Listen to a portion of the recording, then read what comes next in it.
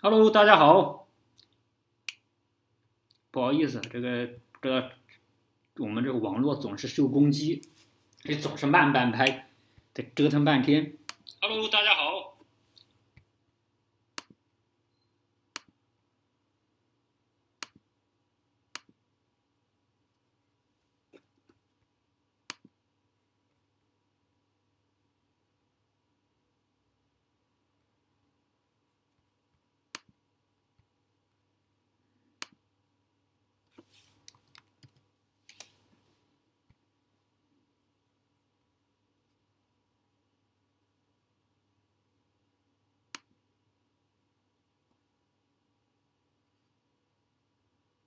啊，这是嗯听到声音，听到这个咔咔咔的声音，是我在这个按键盘的声音。嗯，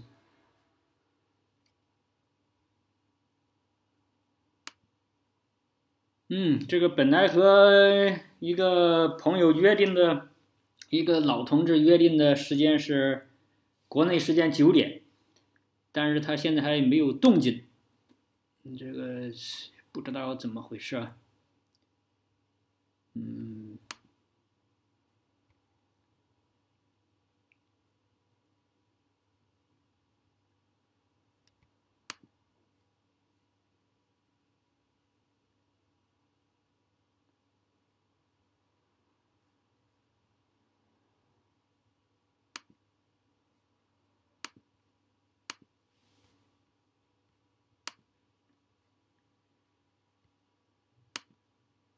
我现在把这个现场地直播地址发到，哎呀，我这个牙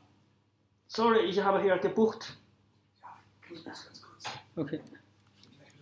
呀，这个牙有点问题，所以说话有点不清晰，希望大家能够看能够听得清楚。嗯，先把直播地址发到这个 Twitter 上。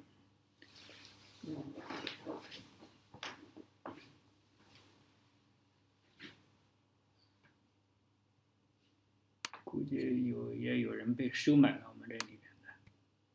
的，我们网络老出问题，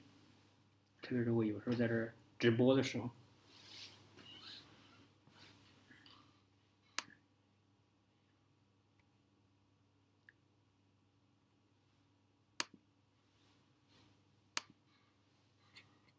这位先生就，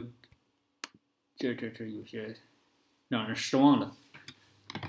几个星期前就约定了，呃，第一次约定呢，他说他睡忘记了，所以就推迟到二十三号，但是到现在还没动静。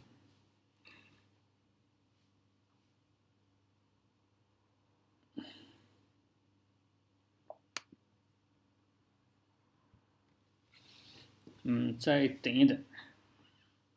这个在德国来说，这就是非常让人，这就是，呃，非常不大可能发生的事情呢。如果发生呢，就是，就就是名誉扫地了。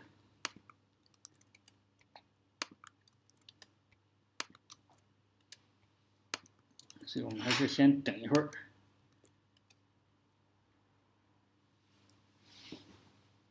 这个有人问什么郭某某？我操，嗯，郭某某怎么会在我这儿有他的地方呢？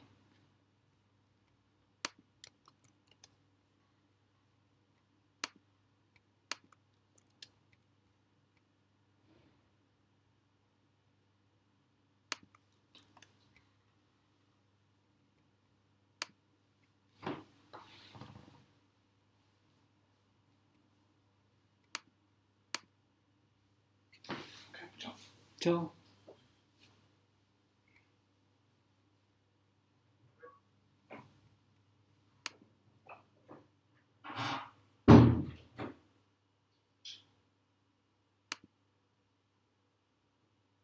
刚又一个家伙跑过来，本来我早就预定了这个房间，又有一个家伙跑过来，不知道这瞎鼓捣什么，在我后面那个，那叫什么投影仪那儿。不过大家根本就不用对这些共匪的这些小伎俩，觉得觉得觉得担心或者害怕，这种就是违背全人类价值观的、违背自由意志的、违背人民利益的，他难以持久的。你像这样，他全世界撒网，到处搞这些维稳经费得多少，所以他会把自己拖垮。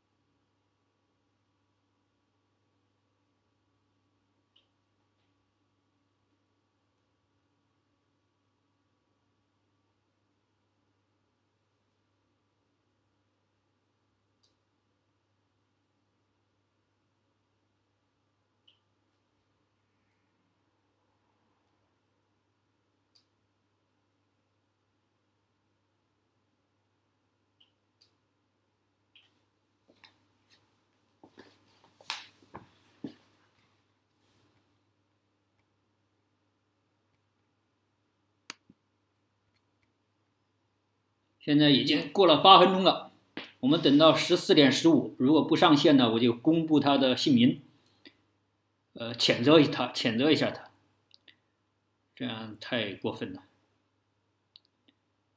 你如果跟共产党害怕共产党，或者是跟共产党有什么勾结，你也你就不要答应嘛，是不是？这些恶劣作风是，怎么还带到国外来了？太不应该了。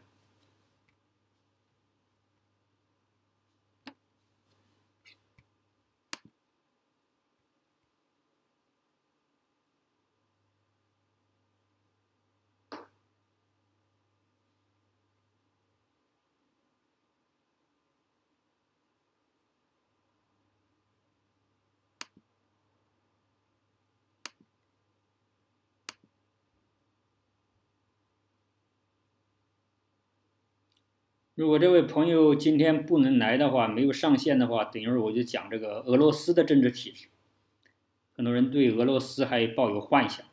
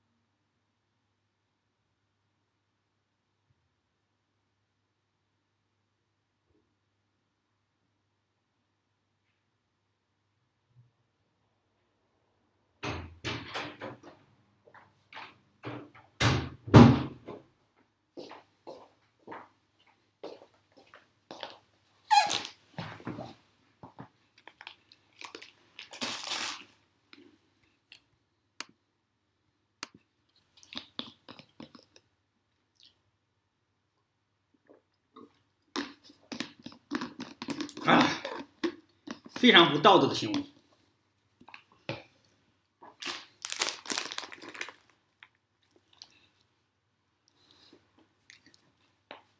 我把几乎所有这个海外名运海内名运的名人我都邀请了我看看有谁有胆量能够自证清白在这上面来讲一讲。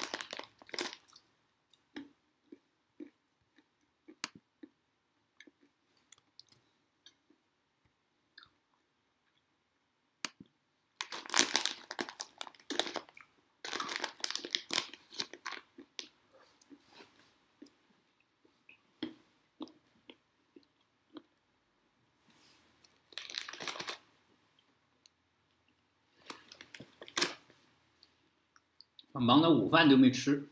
结果他竟然没上来。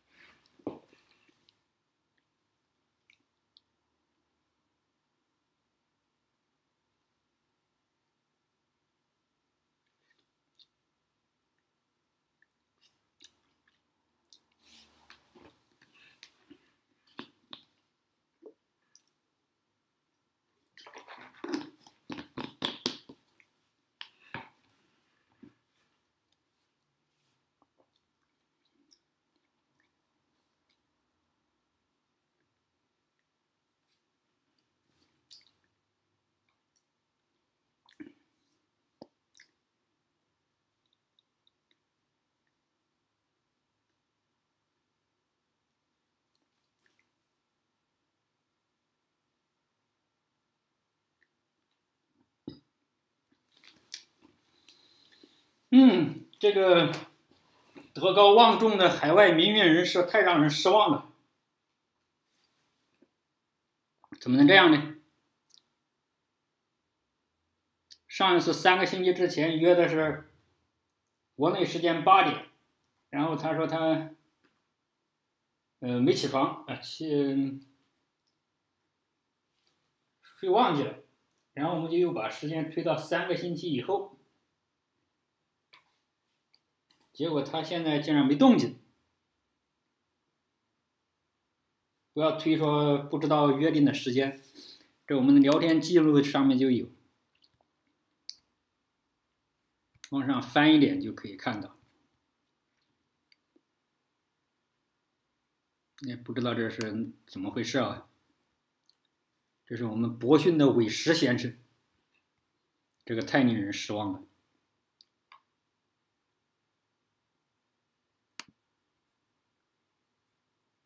行了，我现在打开这个俄罗斯的政治制度的资料，我们来讲俄罗斯的。啊，这桌子我也没搬过来，放在这椅子上，结果这个就放不了两个电脑。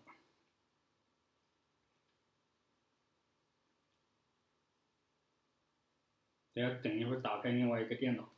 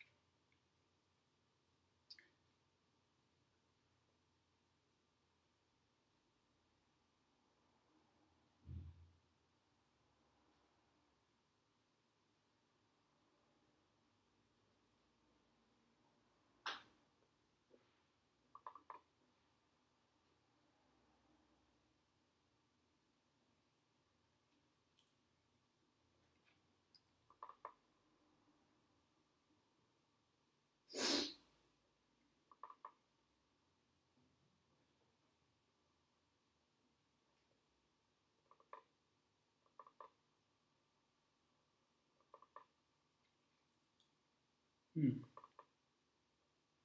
找到一下，找一下，OK，找到俄罗斯的。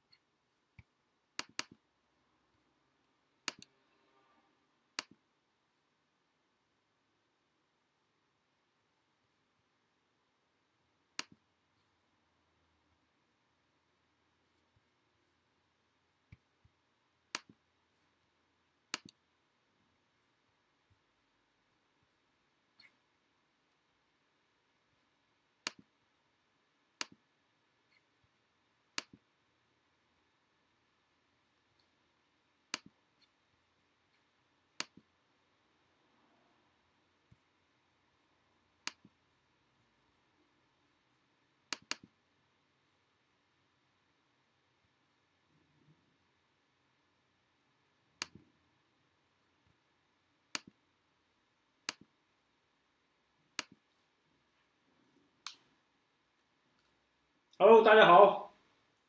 现在我们哦，这头发有点不怎么好。鉴于我们这个博逊先博逊的韦石先生第二次违约，第二次爽约没有没有到我们这个会议室，所以我就只能来讲一讲，接着讲，接着讲政治制度。这次我们讲这个俄国的，很多中国人。啊，对，还要说一下，下个星期也是一个比较一一个比很有名的德德高望重的老先生，他会跟大家讲一些非暴力方面的一些一些一些嗯运动或者是理论，实际上也他是是也是一位有多年实践经验的老非暴力运动者了，希望不会出现意外。嗯，好吧，我们就讲这个嗯。俄国的政治制度，很多中国人呢，特别是这个中国的国安国保系统啊，还对这个俄国制度抱有幻想。其实，普京作为一个特务头子，他掌控国家政权这么多年，真正得益的只是他，他手下的那些人都很穷。知道那些被派到国外去执行暗杀任务的人，都是些从那个很贫穷的地方招募的贫穷子弟，他们在。在那个社会里面没有正常的出路，他如果是在德国这样的国家，一切你像他小时候有这个政府补助，就叫什么，嗯，育儿经费或者什么之类的补助，然后上学免费，上大学都免费，大家就只要他有能力、勤奋，他就有大好前途，不会像在俄罗斯这样去去当什么杀手啊、特工啊，很多人是不是很羡慕有些这个心理有问题的人。他们竟然会很羡慕这个当特务的人，这就很很奇怪了。所以我们现在就哎，怎么我的我的内容跑哪去了？奇怪。嗯，在这儿。现在就是基本的数据，就是俄国大家都知道，它是国土面积最大的国家，在我们现代的这个世界上，是个大侵略者。光从中国就侵略了几百万平方公里，特别是这个老毛江泽民，就大笔一挥，国土就卖给他们了，换取自己剥夺人民权权剥夺人民压迫人民的权利或者权势或者统治地位，然后。他也算是中国呃世界上的一个有什么是大国吧，强国。这个并不是因为它经济力量有多强，或者军事力量有多强，主要是因为它有这个黑武器、核武器。当年是他们把这个德国的纳纳粹时期的那些核武器专家呀、导弹专家都弄到他们国家去了，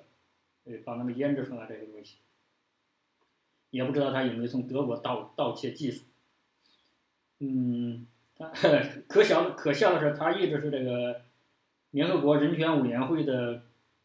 呃常任理事国，呃联合国的常任理事国，还是呃呃叫安理会安安理会的常任理事国，然后就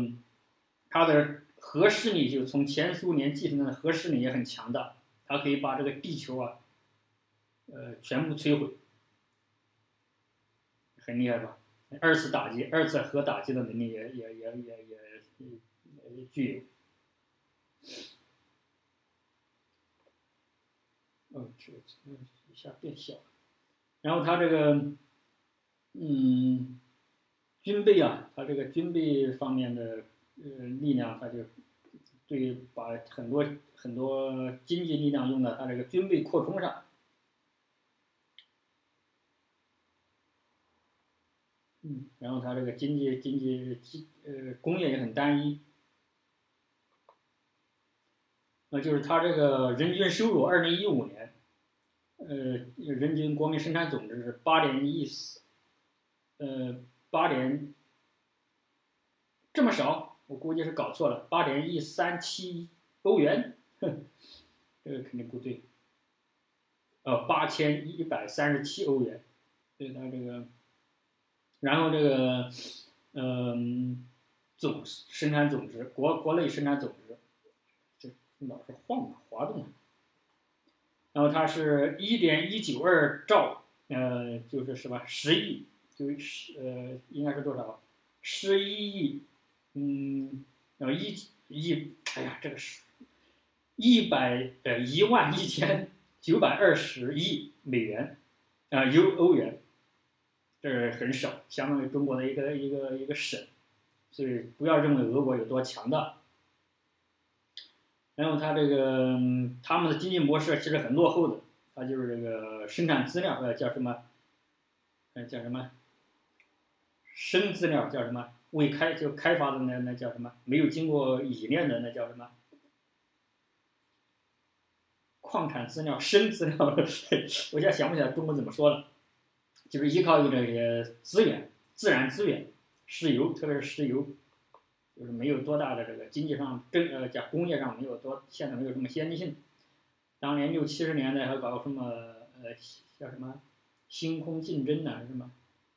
星球大战的叫叫宇宙竞争，就美国，当时它还算是比较先进的，主要是得益于他们呃掳过去的纳粹德国的那个专家。然后呢，就一直停滞不前的，然后还讲到了他的一些小历史，比方说他这个，嗯，他的这个宪法的发展史。一九一七年是沙皇，一九一七年之前是沙皇统治的俄国，沙叫什么？沙俄。然后一九一七年呢，就是呃革命，共产党的所谓的共产党，其实这些就是一些土匪打着马克思主义的名号。你像列宁，他就发展列宁主义，就是一个。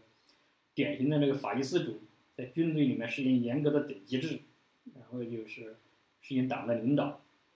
然后一九二二年才成立苏联，大家我们一般在国内就没学这么详细，有这个一九一七年所谓的什么十月革命呢？就俄国革命，十月革命成呃成功了，就成了成立了苏联。这后来很多加盟国，包括现在分出来那些小国家，都是后来才加盟的。然后啊，然后一九八五年，他们就进行了改革，所谓的社会主义系统改革、社会主义体制改革，嗯，改革开放。然后一九九零年三月，呃，就开始了这个半公叫什么半自由选举，这时候就已经成了这个俄罗斯了，RSFSR。然后一九九零年五月，嗯，就选选上了那个叶利钦。嗯，Boris Yeltsin，就他就成了当时还是苏联，对，Oblast Soviet，嗯，意思。然后就是十二月二十五日，一九九一年，S 主要是呃数十方面，那就就是一九呃九一年十二月二十五日解散了苏联，然后一九九三年就是嗯。成了这个叫什么双权力系统，就是总统和议会。然后，一九九三年九月二十一日，呃，叶利钦就是当时他就成了一个独裁者，呃，把这个议会给解散了。然后，一九九三年十月。啊，就是发生了这个所所谓的嗯炮击或者枪击这个议会大楼的事事件，然后叶利钦就是，嗯叫什么，当时就扭转了局势，然后当时选了所谓的新总统打引号的啊那个 Santa r o s k o g i 可以不知道中国怎么把它怎么翻译，对这个历史不太清楚，因为这就是过渡性的，并不重要。然后一九九三年十二月十二日。他们分发动做就啊，还经过全民公投，百分之五十八点四的通呃叫什么赞成通过了现在的宪法，嗯，有意思，哎，全民公投，我估计当时的俄罗斯人也很蠢，竟然搞了这样的这么差的呃政治制度。啊，他这个俄罗斯的改革的三个阶段，一个就是一九八五年至一九九一年。就是当时的戈尔巴乔夫，然后再一个就是一九九一年至一九九三年，当然就激烈的政治改革，在中国叫什么硬着陆是吧？然后就是，然后一九九四年到两千年时候，当然是这个后共产主义时代的一些改革，或者是叫什么巩固。就成了现在的所谓的这个现代的俄罗斯联邦联邦国啊，他们哪有什么联邦？其实不是，呵 呵其实还是还是普京集权制，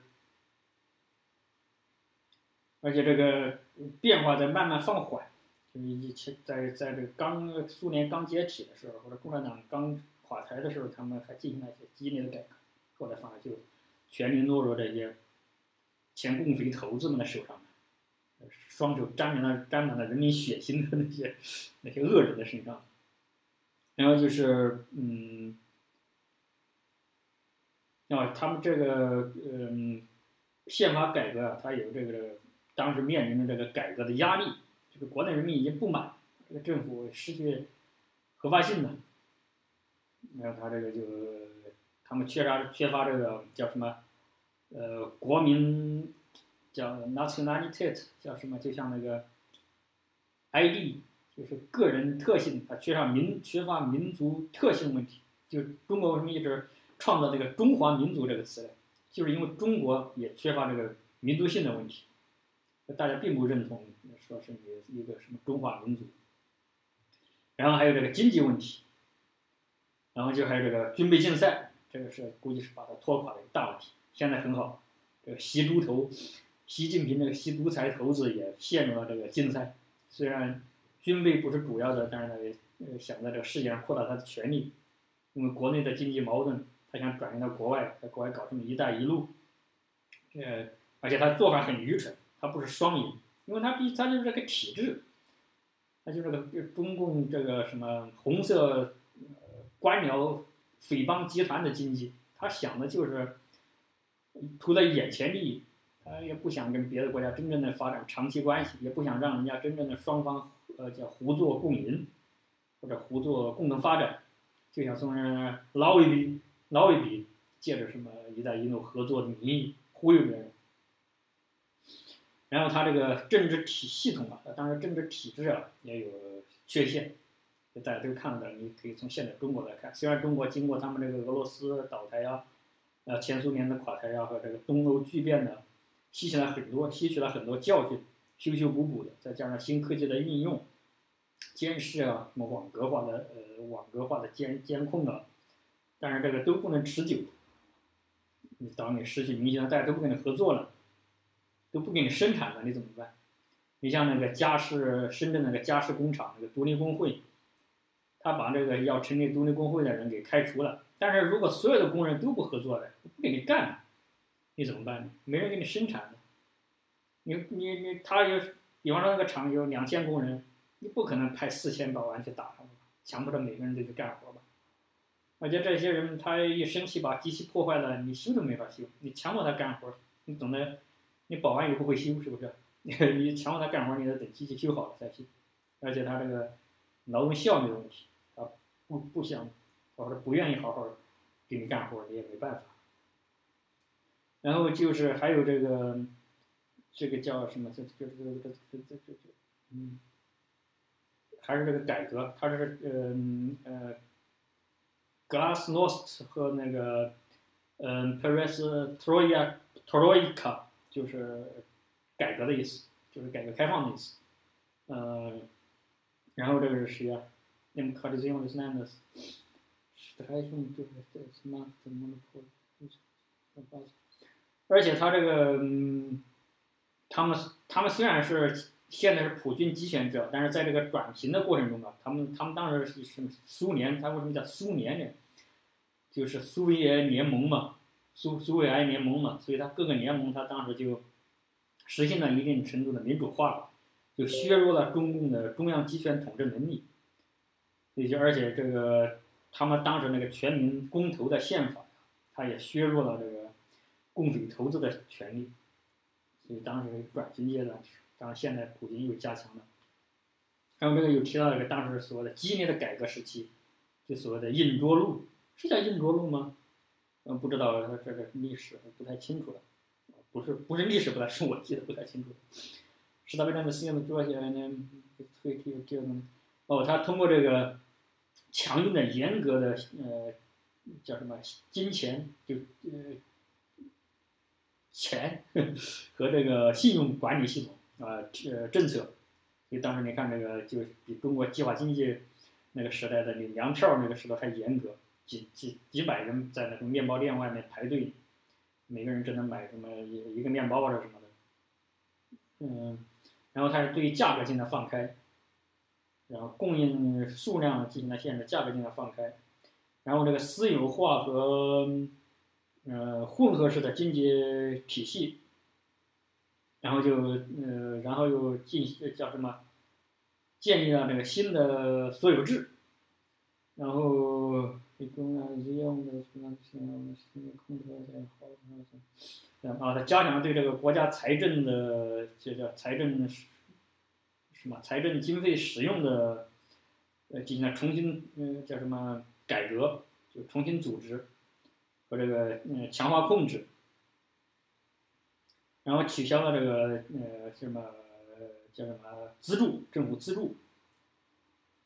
然后减少了这个军费开支。这都是当时他这个所谓的激烈改革时期，在中国应该叫当时三年经济的硬着陆吧。嗯，然后就是这这种硬着陆政策导致的这个后果，就是这个整个社会呃经济体系的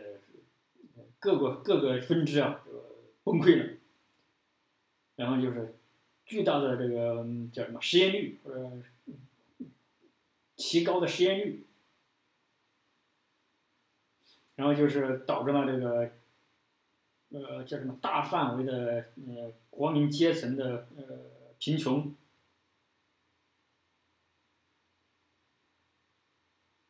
啊，就是然后就是这个形成寡头寡头经济和寡头政治，就少数人在在这个国呃私有化过过程中把这个钱都据为己有了，就跟中国这样，什么温家呀，什么什么江家呀，什么李家呀，又要吃到那个道德败坏却要给全国人民建道德档案的那个笨蛋李小民，连什么电机原理就通不过的那个家伙，这你想想，你就可以推断当时苏联是什么情况。然后就这个叫什么安全性降低，就是国家变得不安全了，就是呃，然后这个国家的权力啊，就是国家的这个权威啊，就是丧失。然后，呃，然后就后共产主义时期，就是叶利钦的呃叫什么政治系统、政治体制。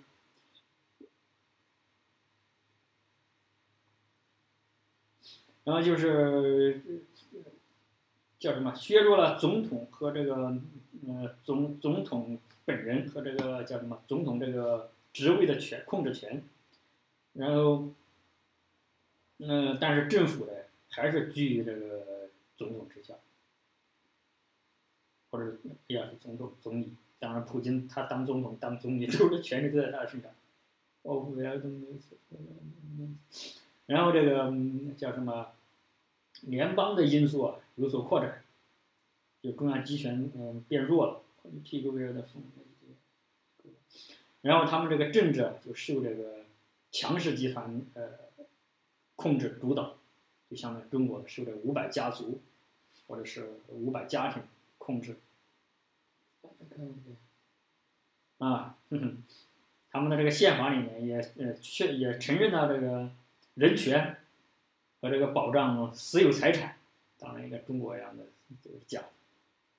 的，然后就是嗯司法独立，实际上是不独立的，这大家都知道。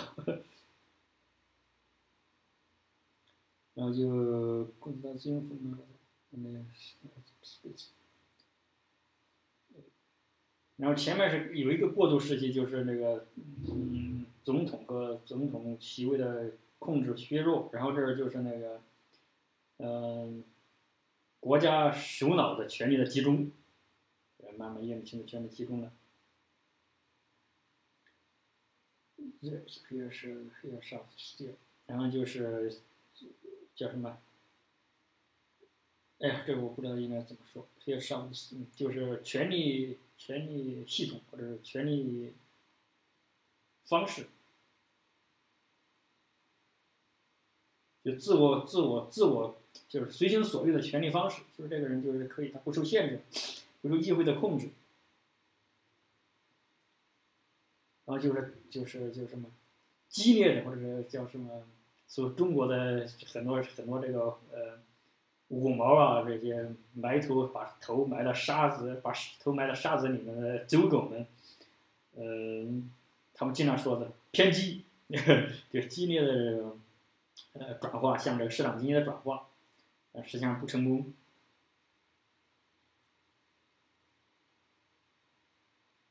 好，然后这些上面说的这个，在这个私有化过程中窃取了大量国家资产，他们和这个，呃，在选举中啊，就是控制选举、资助选举，新富人、新富阶层，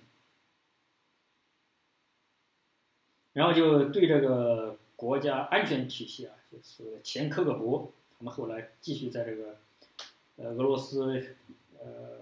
就是活动，而且很强势。他们对他们缺乏民主式的控制，就他不受这个民主制度、不受选民、不受媒体的影响，不受他们控制。然后这个经济，呃，经叫什么？经济秩序的改革，或者转变、转型，对吧？然后就是他们经济啊，就是精英经济，嗯，什么精英，只是这样说，就控制在少数人手中而已，就是那些前共匪们，把这个都都控制在自己手中。然后他们这个 很有意思啊，他们的党派系统非常多，非常复杂，什么样都有，但是却却没有这个，呃，得不到这个社会的承认，因为他没有什么影响力，任何人都可以成为政党，嗯。然后这个现在的俄罗斯的政治体制啊，就是它这个宪法上的原则，纸面上的，就是一个是联邦制，这个是共和制，第三个是民主制，第四个是法治，第五个是社会呃社会国家。什么意思呢？就德国也是社会国家，实际上就是社会福利国家。实际上俄罗斯是没有。大家还很多听到很多谣言，什么俄罗斯人住房不要钱呢？什么煤气电都不要钱呢？暖气也不要钱呢？什么这都是谣言，还不要相信。啊，第六点更有意思，它还有这个基本权利。基本权利就是我经常在这个提到的德国的宪法的前二十条，这第一百零三条。第一百零三条就是任何人不得无罪，呃，被判刑或者被受到处罚。另外一个就是每个人都必须就受到，嗯，呃，有机会就是。呃，受到审法院的审判，并进行呃辩护，得到法律方面的救救助，就是律师替他辩护，然后不得二次判刑，为这些，嗯，都是基本权利。实际上，很多人分不清，我在那个别的国家里也讲过，别的国家政治制度也讲，这个联邦制啊、共和制啊、民主制啊这些概念的区别，大家可以翻一翻，呃，以前讲的视频。这个以后可能我会讲德国的，这个有时间的话，德国的里面讲的很详细，可以再给大家再讲一遍。他们是不同的，嗯，然后这个是，嗯，是发明是奥夫高的还有总啊，这个宪法规定的总统的权限或者是叫什么呃工作范围义务，啊就是，嗯。方针指导方针就是内内务和外务的指导方针，就是国内政策和呃外交上的这个指导方针，而且他是外交方针的头儿，他是直接领导外交政策国国家的外交，然后就是可以任命总理，嗯，然后他可以嗯把这个国家呀呃与国家叫什么？嗯，与国家近的那些企业就是国企，然后这些嗯叫什么嗯领导或者是叫什么统治权，就是他由他来任命，由总统控制。这个江泽民呢，现在并不是现在是习近平，习近平儿可以任命各个国企的那些呃管理人员、统治者，然后，然后他这个还有这个。不受议会控制的权利，呃，嗯，他可以直接呃叫什么调动警察和这个呃这这叫什么 国安那叫什么秘密警察、普通警察和这个政治警察，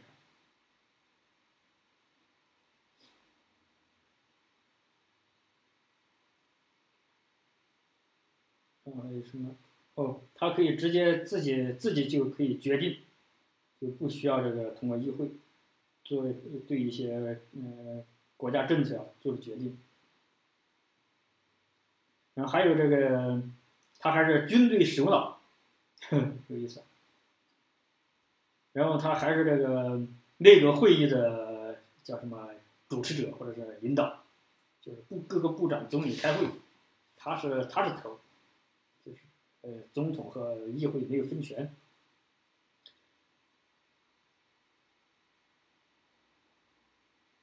啊，他可以就是不受任何限制的发起全民公投。当然，普京是不会真正的搞全民公投的，全民公投就把他投完蛋了。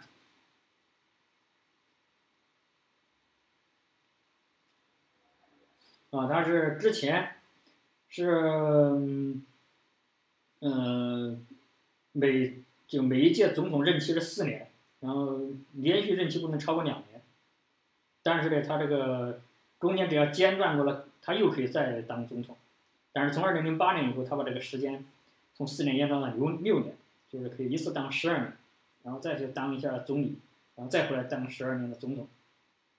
然后这个总统这个任命，就一九九一年至一九九九年是叶利钦，Boris Yeltsin，嗯，不知道中文怎么。翻译，竟然还有，我从来没注意到他的他的这个名，就是前前面的名字，只注意他的姓，然后就普丁，普普钦，普普京，嗯，弗拉迪米尔·普京，然后两千年的两千零八年，然后就是他们那个总理叫什么，迪米特梅德韦德夫，嗯，叫二零零八年到二零一四年，就只当了四年，这个过渡期，然后又是那个乌里达米尔米尔普京，从二零一二年两年东西，然后就是这还有这个当时这个候选人呢，嗯，有谁啊？有普京，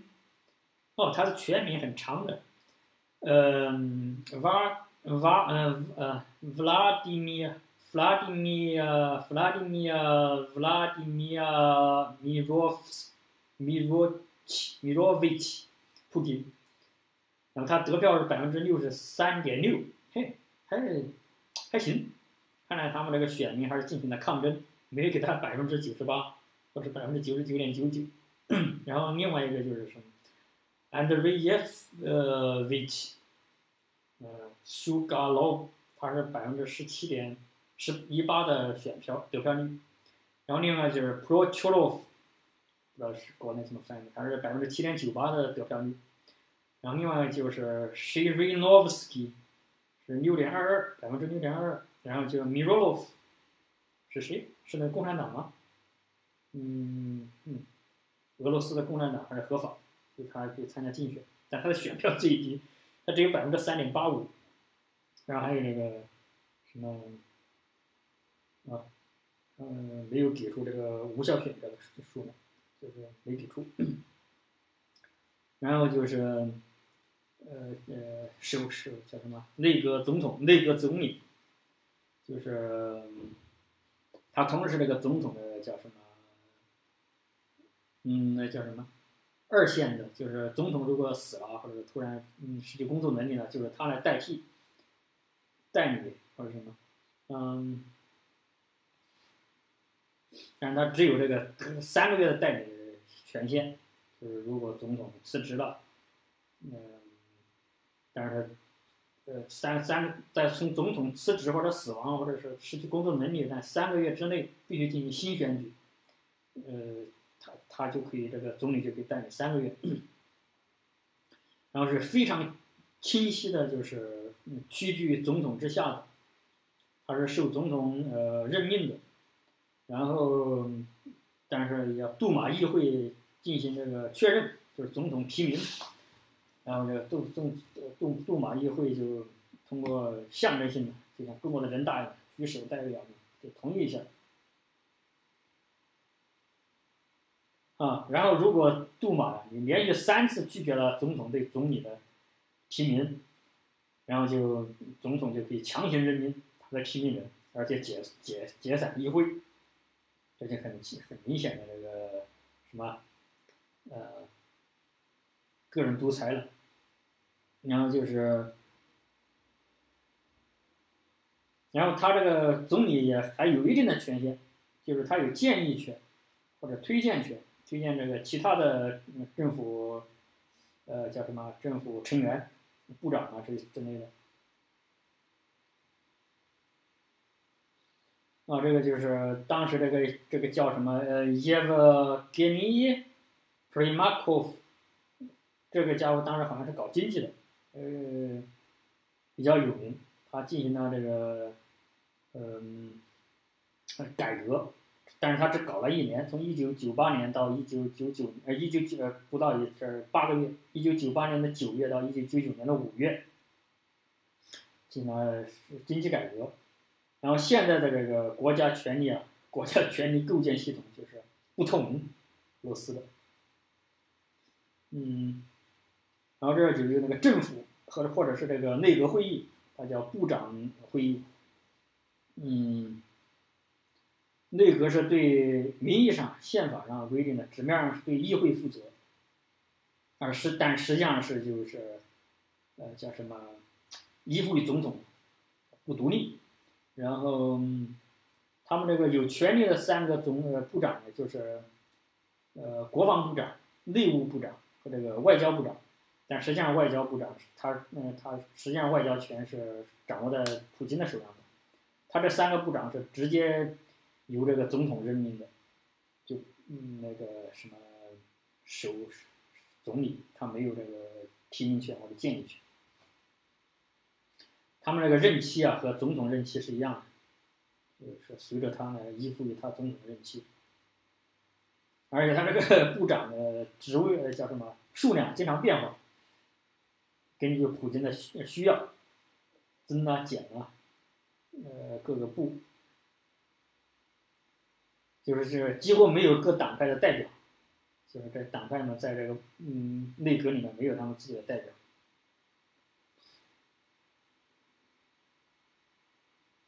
然后就是这个他们的官僚主义啊，充满了这个这个这个充满了权力意味的官僚主义，就由这个权势构成的官僚主义。你像这个，嗯，总统叫什么？总统办公室和这个安全安全委员会，它是最强势的，就受他们的控制。然后这个就是所谓的国家安全，国家安全委员会，而且他这个他不是由这个呃他这个安全委员会估计像那个习近平搞的那个什么，他自任组长那个叫什么，呃维稳小组还是什么的，他们就是也是集体呃由这个政治精英们所谓的政治政政治这个他他应该不能翻不能翻译成精英。就是政政治权力居居于政治权力顶峰的人在一起通过集体开会，像那中共的现在七党委吧，以前的八党九党委。反正他这些成员有谁的？有总统、总理、外交、内务和这个司法部长，然后还有这个国防部长，然后就是嗯。像像这什么呃，议会的这个呃主席，嗯，然后就是这个国家的首席检察官，然后就还有这个呃秘密警察的这个呃代表，他不叫秘密警察头子，不叫局长，就是代表，非常特别特。嗯，然后在这个当时的独联体的时候，一九九一年，就是。呃，戈尔巴乔夫是根据这个美国的呃 NSA，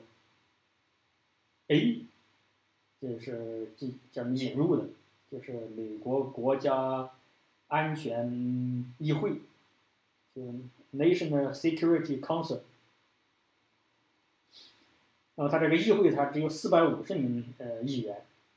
呃，因为俄罗斯的人相对来说比较少嘛，嗯。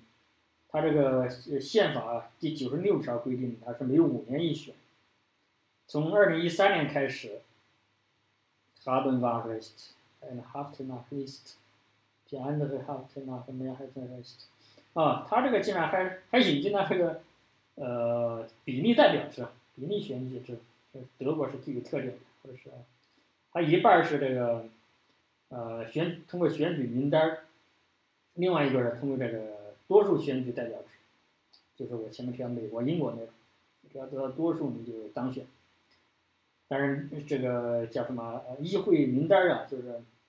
就各个议会都可以选出这些代表，这就相对来说就代表性广泛一些。但是在俄国你都是假的，所以也就没什么意义。但是从这个二零零四年开始啊，它就是完全的比例代表制了。然后它这个门槛啊。它从百分之五，不知道大家记不记得我前面提到这个德国的门槛是百分之五，然然后这个，呃，俄罗斯啊，它之前也是引进了这个百分之五的门槛，但是它在二零零四年它提升到百分之七，这样一些小党它就丧失了很多机会了，就是你只有你的得票率超过所有得票率的百分之七了，你才能进入议会，哪怕是，这这你你的选举名单里面你才能安排你的人。这个将来我在德国政治制度里面详细讲，这样就让很多小小党派就缺乏就没有机会了，缺乏机会了，就有一些就所谓少数群体，同性恋呐，或者是这个，呃，这就所谓容易导致这个多数人的暴政，一些边缘群体、弱势群体啊，他就在议会里面没有发言权了，缺少缺乏代表去替他们发言，嗯。杀不联名的地方被太厉害哦，就是他以前规定呢，你就是，呃，呃，叫什么？参加投票的人，你最少要达到百分之二十五，选举才有效。但是在二零零四年他取消这个，估计这个大家都对他俄罗斯的政治很失望，很多人都不去参选。其实这样就对独裁者有利了，你不去参选，都在这花钱让那些让自己的人去去投票，这样他就很容易当选。这也是这个很多国家，这是懒懒人国家，像这个斯拉夫国家、斯拉夫国家和这个南欧啊，你像南欧其实很多都是斯拉夫国家，什么什么什么，呃，以前的那个南联盟、黑山共和国叫什么？不知道国内翻译的什么，是叫黑山共和国吧？然后这什么塞尔维亚，叫塞尔维亚呀，这些，马斯多尼亚叫什么？马其顿还是什么？马斯多尼亚，不应该国内这么翻译，反正他们都很懒，他不愿参与政治，包括这个西班牙人，呃，意大利人，这样你就给这些坏人机会了，他就控制政府。意大利人还很自豪，哎，那政府太腐败了，我们跟他不跟他们玩儿，他们搞他们的。然后玩他们选举，玩他们什么？我们玩我们的，你这样不就是把把自己呃自由拱手让给别人了？然后他这个议会呢，还有一点呢，就是这个议员呢，他享有豁免权。这个将来会在德国呃讲德国政治详细讲，他并不是完全豁免，他就是他是这个就是他在那个议会里面的发言呢不受这个影，我们在美国宪法里面讲。他是不不得受任何逼责，不管他说的什么。然后另外一个，他就是如果，呃，司法机构啊，你不能随便以这个刑事罪名来逮捕他，你必须得经过这个议院的同意。你将来在德国政治系统的政治制度会详细讲。然后另外一个就是，然后在每年控制，所谓控制就是监督啊，或者是这个。政府呃叫什么工作述职报告啊？对他们这个联邦的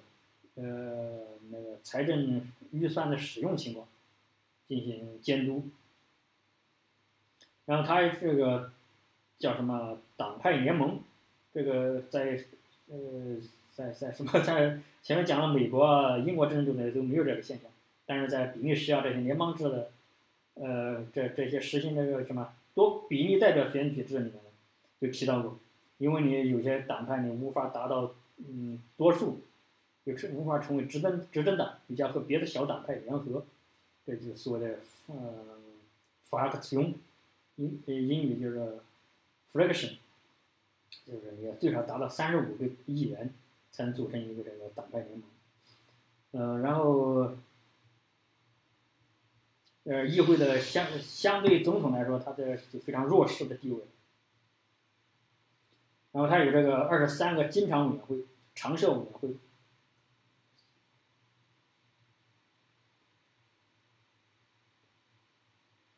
哦，，OK，这个很好，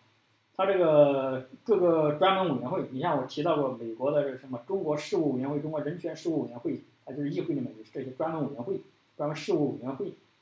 它这个委员会的叫什么主席或者副主席啊？它是根据这个，呃。叫什么？就各党派在议会里面所占有的这个比例，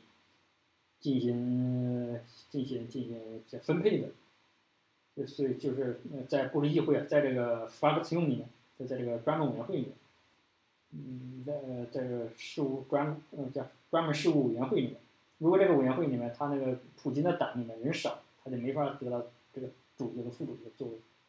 就这个就是没有这个嗯叫什么？没有没有没有叫什么持久的或者是嗯持续持续的这个执政党的叫什么垄断权？然后他这个有什么有哪些党派的在这个他们杜马俄罗斯杜马就议会，他们称杜马，就是俄罗斯统一党，有三百四十三个，它总数是我们前面说过四百五十个。嗯，然后这个俄罗斯联邦共产党，哈，还有十二个席位，他们竟然还这么高。然后还有这个俄罗斯正义党，还二十三个。然后就是自由民主党，俄罗斯自由民主党三十九个。看还有什么祖国党一票，估计是这个还怀念当年苏大苏联时期的。然后就是公民论坛一票，然后这个独立的没有，很多国家至少有一个独立议员吧，无党派议员吧。我看现在已经四十二分钟了，